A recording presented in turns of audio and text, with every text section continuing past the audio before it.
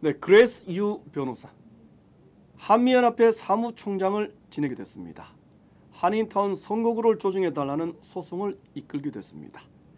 오늘 2020년 LA 시의원 선거 후보의 공식 등록을 마쳤습니다. 한인타운이 포함된 10지구 출마를 선언했습니다.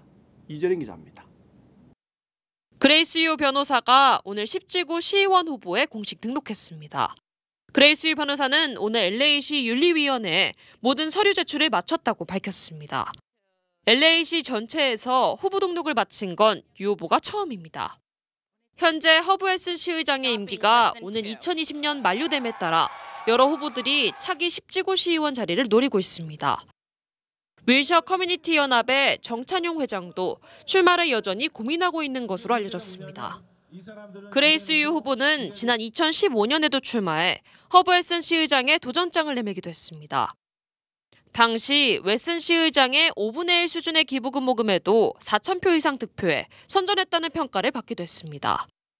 유 후보는 오랜 기간 준비해온 만큼 한인 사회를 대변하는 정치인이 되겠다며 선전을 다짐했습니다. 그레이스 유 후보는 2005년부터 10년간 한미연합회 LA 지부 사무국장을 역임했습니다.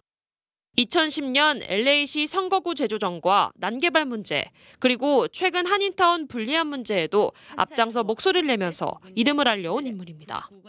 LA에서 SBS 이재린입니다.